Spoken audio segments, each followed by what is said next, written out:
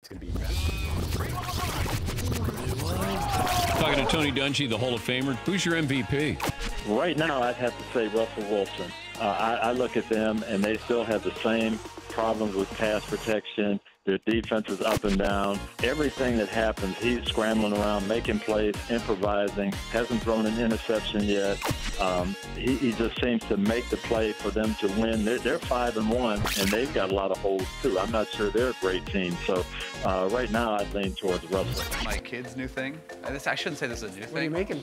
They try to stay up way too late by suckering me into watching any sporting Oh, event. yeah. But they just go, Dad, could I stay up and, and snuggle and watch the, the football game? Yeah, yeah.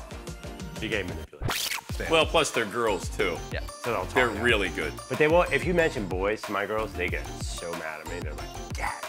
I don't know if that changes. It's gonna change home slice. Oh yeah. And you're not gonna like it. Yeah.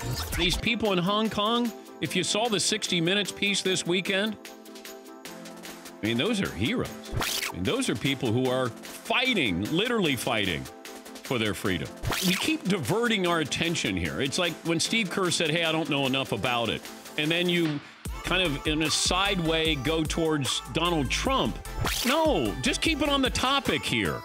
This isn't about, I don't want to talk about that, but I can talk about that.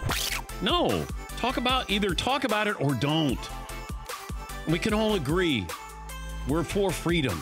Lamar Jackson, who gave you the nickname Smiley Face? Smiley face? Uh, I don't remember. Is that a real nickname?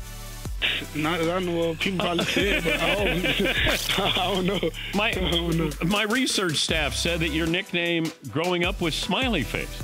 Nah, everything stuff like that, but not smiley face. I never heard that. one. Tiger Woods and HarperCollins announced that they are partnering on a Tiger Woods memoir written by Tiger Woods.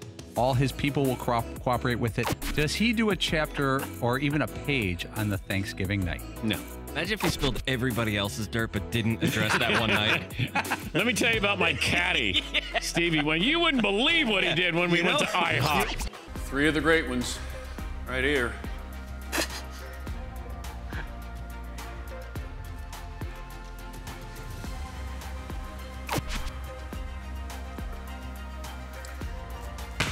Back to the lab.